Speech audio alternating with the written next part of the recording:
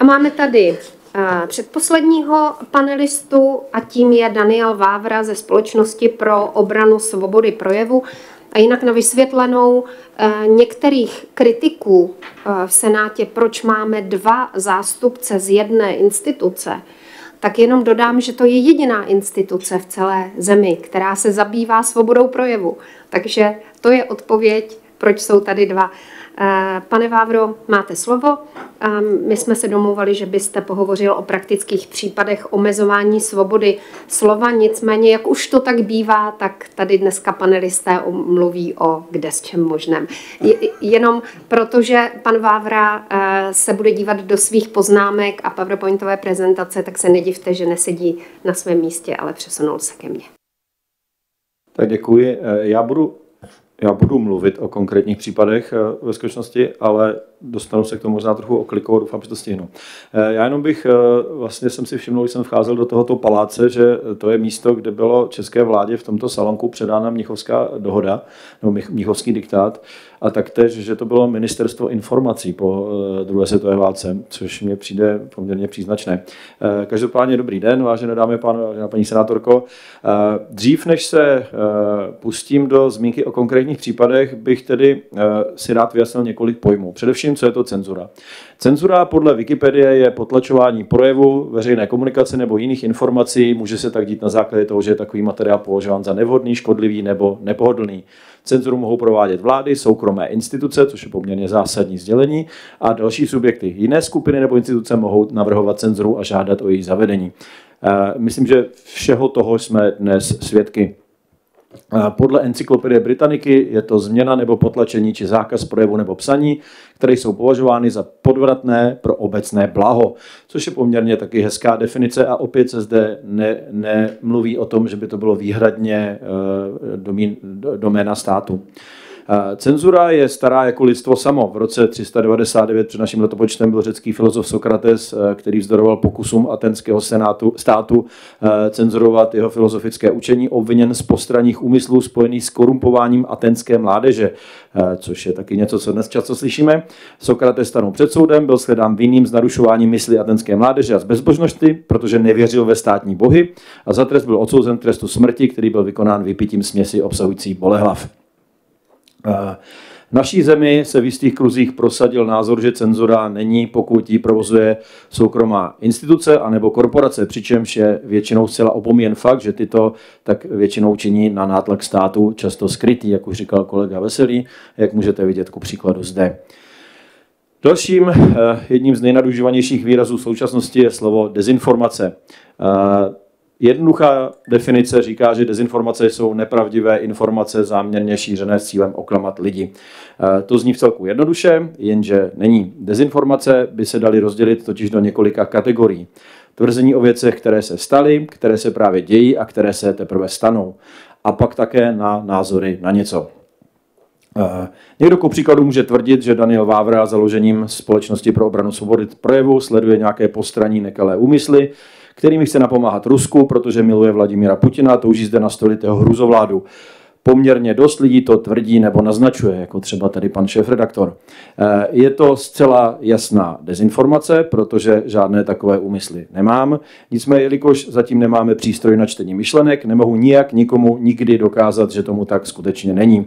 Stejně jako nemohu prokázat, že jeden z největších bojovníků s dezinformacemi v této zemi není oportunistický podvodník a šarlatán, který spolupracuje s tajnými službami. Názory na to, co je kdo zač, jsou prostě jen názory a je na každém, jaký si na ně udělá názor. Dezinformace o věcech minulých. Dodnes se ku příkladu vedou poměrně velké spory o tom, kdo spáchal atentát na prezidenta Kennedyho. Všeobecná schoda nepanuje ani třeba na historickém odkazu husitství, byly to vraždící lapkové nebo zbožní hrdinové abychom nezacházeli příliš hluboko do minulosti. Skoda nepanuje ani na tom, zda lockdowny, roušky a povinné očkování bylo objektivně nejlepší řešení covidové pandemie, eh, nebo společnost je poměrně dlouho rozdělená, co se týče toho, jak by se měl řídit stát. Zda je lepší kapitalismus nebo socialismus, zda je lepší nacionalismus nebo internacionalismus. Dezinformace o věcech současných. Ještě složitější je to u těchto věcí, které právě probíhají. Ku příkladu od roku cca 2016 jsme byli svědky toho, která jistý Donald Trump spolupracoval s Ruskem a shodla se na tom drtivá většina médií a přesvědčila o tom takřka celý svět.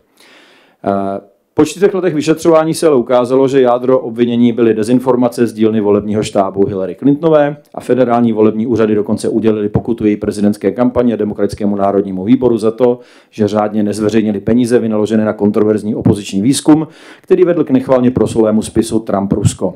To je zpráva ze CNN, jak vidíte, kdyby mi náhodou někdo nevěřil. Kdyby to nestačilo, tak minulý týden byla zveřejněna další zpráva, tentokrát od zvláštního vyšetřovatele federálního prokurátora Johna Darhama, který měl prověřit vyšetřování Trumpa od FBI eh, v otázce této tajné dohody s Ruskem. Darhem nejenže zjistil, že žádná spolupráce Trumpa s Ruskem nikdy neexistovala, ale také, že na začátku vyšetřování neexistoval naprosto žádný důkaz, že by se taková věc někdy stala a tedy ani žádný důvod, aby někdo něco vyšetřoval. Přesto FBI začala vyšetřovat úřadujícího prezidenta USA na základě hoaxu stvořeného volebním štábem jeho protikandidátky. Předtím se zase těsně před volbami v roce 2020 shodlo 50 bývalých členů informačních služeb, včetně pěti bývalých ředitelů CIA, že zpráva deníku New York Post o notebooku Huntera Bidena s naprosto skandálními informacemi je ruská dezinformace. Deníku New York Post byl na několik týdnů zablokován účet na Twitteru, sdílení článku na sociálních sítích vedlo k blokacím účtu uživatelů, včetně tehdejší tiskové mluvčí amerického prezidenta. Bez vědomí uživatelů se příspěvky na toto téma nikomu nezobrazovaly, nebo byl článek sítěmi označován jako dezinformace. Cenzura probíhala dokonce dokonce i v rámci soukromých zpráv. A pak se po volbách ukázalo, že to je pravda a všichni výše uvedení lhali nebo, neboli dezinformovali. Pokud by někdo chtěl vidět jasnější ukázku zneužití dezinformací k ovlivnění voleb, tak těžko najde lepší. 16% Bidenových voličů následně v průzkumu Media Research Center prohlásilo, že kdyby to věděli, volili by jinak, jak můžete vidět na obrázku eh, z poměrně renomovaného eh, amerického časopisu. Což je důvod, proč tady tento příběh vůbec zmiňuji, protože dezinformace mohou ovlivňovat volby, ovšem často zjistíme, co byly skutečné dezinformace až po těch volbách. Pokud se tedy rozhodneme dezinformace cenzurovat, abychom zabránili ovlivnění voleb, může to vést ke zcela opačnému výsledku, než bychom chtěli, tedy k ovlivnění voleb ve prospěch skutečných dezinformátorů. No a pak tu máme eh, dezinformace o věcech budoucích. Dnes ku příkladu panuje takřka absolutní vědecká schoda na tom, jaké bude asi klima v roce 2100. Problém je, že přesvědčit se o tom budeme moci až v roce 2100, což tedy většina z nás nejspíš moci nebude, protože už nebude. A tak nikdy nikdo neponese za svoje dnešní tvrzení zodpovědnost a já bych zde jen výjmenoval krátký přehled minulých tvrzení vědců na dobu, kterou už jsme naštěstí měli možnost zažít a jejich tvrzení si tedy ověřit. Eh, tak ku příkladu v roce 66 měla ropa dojít do 10 let, v roce 67 byl předpovídané strašlivý hladomor, nejpozději do roku 75, to jsem se narodil. Svět spotřebuje své přírodní zdroje do roku 2000, tvrdili v roce 70. Obyvatelé měst budou do roku 85 potřebovat plynové masky, zhoršující se znečištění zabije všechny ryby. Doba ledová přijde do roku 2000. V roce 71 eh, měla nová doba ledová přijít do roku 2020. Eh, v roce 74 vesmírné satelity ukázaly, že brzo se blíží doba ledová. V roce 77 ministerstvo energetiky USA prohlásilo, že ropa dosáhne limitu v 90. letech. V roce 1980 ropa měla dosáhnout limitu v roce 2000. V roce 88 měli, bylo předpovídáno, že Maledivy se potopí do roku 2018. V roce 89 eh, se říkalo, že západní magistrála New Yorku bude do roku 2019 pod vodou. V roce 96 ropa měla dosáhnout limitu roku 2020. Eh, v roce 2002 byl předvídán hladomor do 10 let, pokud nepřestaneme jíst ryby, maso a mléčné výrobky. Eh, v roce 2002 ropa dosáhne limitu roku 2010, eh, v roce 2004 Velká Británie bude do roku 2024 Sibiří, jak si můžete přečíst v článku z Guardianu starým starého 19 let. Eh, Al Gore tvrdil v roce 2008, že Arktida bude bez letu do roku 2018, následně do roku 2013 a poté to přesunul o rok později do roku 2014. Ale abych nelovil pouze v zahraničních vodách a zlé jazyky mě nenaskly, že to se nás tady v oáze demokracie netýká. Eh, nedávno jsme si v SOSP nechali udělat reprezentativní průzkum na téma svobody slova. Od 3000 respondentů jsme se dozvěděli poměrně znepokojící informace. 54,7% se někdy bojí otevřeně vyjadřovat své názory, 57% si myslí, že se to do našich životů vrací cenzura, 60% se stalo obětí cenzury nebo někoho takového zná, 71% z nich uvedlo, že bylo cenzurováno médium nebo profil, které sledují. 79% si myslí, že stát nemá rozhodovat o tom, co je dezinformace. A 68% si myslí, že největším šeřitelem dezinformací jsou vládní politici. Výsledky našeho průzkumu jsou v mnoha otázkách velmi podobné mm, podobným průzkumům například v Německu, jenže objevil se tu další problém. Uskutečnit ten průzkum trvalo dva roky. Žádná z agentur združená v hnutí Simar ho totiž nechtěla uskutečnit a poté, co jsme využili služeb agentury mimo Simar, jediný mediální ohlas bylo napadání metodiky našeho průzkumu. Jinými slovy, průzkum nešlo udělat u renomovaných agentur, ale výsledky jsou nerelevantní, protože nebyl udělán u renomovaných agentur. Eh, přičemž tam bylo několikrát doslova řečeno, že je to příliš kontroverzní téma a my jsme kontroverzní organizace. Vraťme se ale k dezinformacím. Jeden z nejbližších spolupracovníků prezidenta Pavla, František Vrabel, nedávno prohlásil, že nejlepší dezinformace jsou zcela pravdivé a bude potřeba zakázat sociální síť Telegram. Umělou inteligenci a obsah jí stvořený, protože hrozí, že to budeme mít 3 miliony umělých dezinformačních inteligencí. Jeho společnost Semantic Visions přitom v době covidu poskytovala v rámci boje s dezinformacemi ministerstvo zdravotnictví prokazatelně nepravdivé informace. Ve vztahu k názorům jeho a mnohých dalších si ale nezbývá, než položit otázku, kdo bude určovat, co je pravda. Na základě jakého mandátu a kvalifikace, jak my, kteří privilegium přístupu ke všem informacím nebudeme mít, budeme moci ověřit, zda nám privilegovaný nelže, když nemáme přístup k tomu, o čem nám vykládá, že je to lež. A jak si pan František a mnozí další představují ony zákazy? Má pan František pocit, že když zakáže síť Telegram, její uživatelé pokrčí rameny, přestanou si posílat zprávy přes internet? Nebo nějaký zlotřilý kapitalista vytvoří jinou aplikaci se stejnými funkcemi a všichni přejdou k ní? Zakáže se pak vytváření aplikací, budou se aplikace schvalovat před nějakou komisí. Jak plánuje pan František zakázat umělou inteligenci, kterou může zcela decentralizovaně provozovat naprosto kdokoliv na jakémkoliv počítači?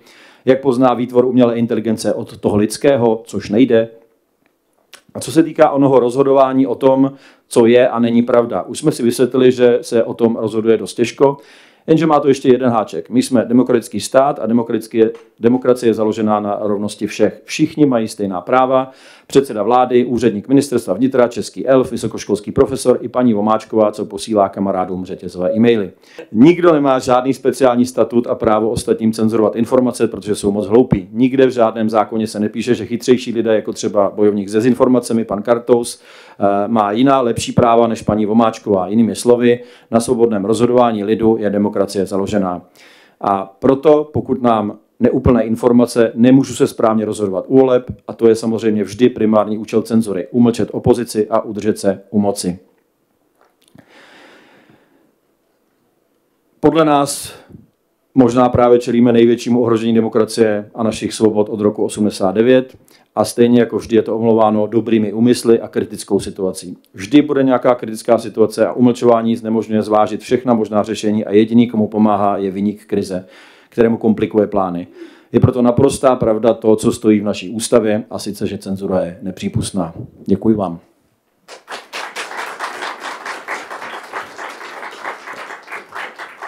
Děkuji, pane Vávro, za váš příspěvek. Děkuji za to, co jsem si říkala, že jednou udělám, to je, že seberu všechny ty dezinformační, ty, ty alarmistické teorie do budoucna a vy jste to udělal za mě a tenhle příspěvek taky najdete ve sborníku.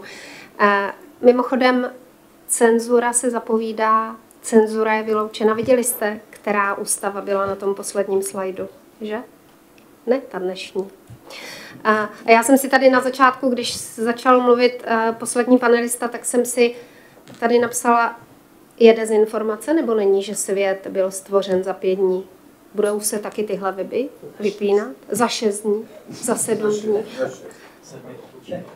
Děkuji. Za šest.